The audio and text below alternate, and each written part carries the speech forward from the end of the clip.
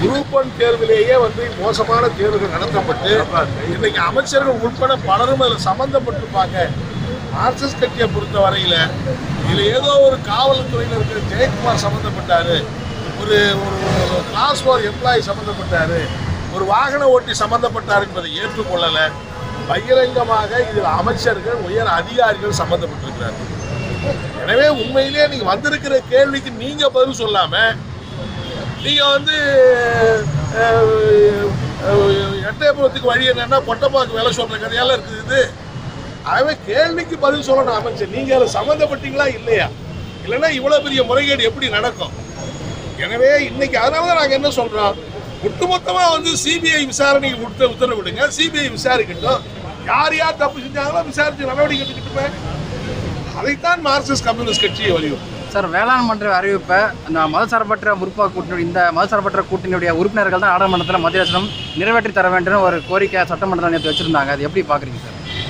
இல்லை அதாவது வேளாண் பாதுகாக்கப்பட்ட வேளாண் மண்டலமாக அதை அறிவிக்க வேண்டும் என்று நாங்கள் தொடர்ந்து போராடிக்கிட்டு இருக்கிறோம். இந்த மீத்தேன் ஹைட்ரோ கார்பன் திட்டங்கள் வந்த காலத்திலிருந்து மார்க்சிஸ்ட் கம்யூனிஸ்ட் கட்சி விவசாயிகள் போராடிட்டு இந்த போராட்டத்துக்கு கிடைச்ச ஒரு வெற்றி என்னன்னா முதலமைச்சரே நாங்கள் வந்து அதை ஏற்றுக்கொள்கிறோம் பாதுகாக்கப்பட்ட மண்டலமாக அறிவிக்கிறோம்னு சொன்னார். ஆனால் கேள்வி ஏற்கனவே இரநூத்தி நாற்பதுக்கு மேற்பட்ட ஆழ்துளை கிணறுகளை தோண்டுவதற்கு அனுமதி கொடுத்துட்டாங்க. அந்த அனுமதி நீங்கள் ரத்து செய்ய போறீங்களா இல்லையா?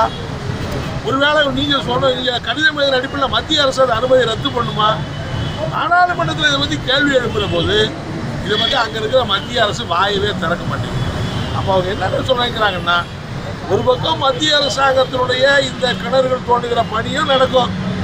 இன்னொரு பக்கம் எடப்பாடியினுடைய வேலை பாதுகாக்கப்பட்ட மண்டலம்ங்கிற அறிவிப்பும் தொடரும். எப்படி இது ரெண்டும் ஒன்றா இருக்க முடியும்?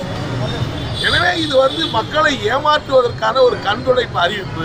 ஆகவே தான் நாங்கள் என்ன சொல்கிறோம் நீங்கள் அறிவிக்கிறது உண்மைன்னா சட்டமன்றத்தில் ஒரு சட்டத்தை நிறைவேற்றி நீங்கள் அனுப்புங்க. சட்டத்தில் இங்கே வந்து பாதுகாக்கப்பட்ட மண்டலம் இதில் ரசாயன இங்கே வந்து மீத்தேன் எரிவாயு எடுக்கிறதுக்கு அனுமதி கிடையாது ஹைட்ரோ கார்பன் எடுப்பதற்கு அனுமதி கிடையாதுன்னு நீங்கள் வந்து சட்டத்தை நிறைவேற்றுங்க. ஏங்க குடியுரிமை சட்டத்தையே எடுத்து நீங்கள் தீர்மானம் போடுறதுக்கு தயாராக இல்லாத நீங்கள் வேதாந்தா குரூப்புக்கும் ஓஎன்ஜிசிக்கும் டெண்டர் விட்ட கிணறுகளை மூடுவதற்கு எடப்பாடி முன் வருவாரா? எனவே இதெல்லாம் பாதுகாக்கப்பட்ட மண்டலமாக அறிவிப்பது என்கிற அறிவிப்பு ஒரு கட்டாயத்துக்காக ஏற்றுக்கொண்டாரே தவிர அதை முழுசா நிறைவேற்றுவார் என்கிற நம்பிக்கை எங்களுக்கு இல்லை. நிறைவேற்றுவார் சொன்னா சட்டமன்றத்தில் அதை நிறைவேற்றி சட்டத்தை நிறைவேற்றி காட்டினா தான் நாம் நம்ப முடியுங்கிறத நான் தெரிவிச்சேன் நாளை அமைச்சரவை கூட்டத்தில் இதுக்கு கொள்கை முடிவு எடுக்கப்படுறதா ஒரு தகவல் வந்திருக்கு.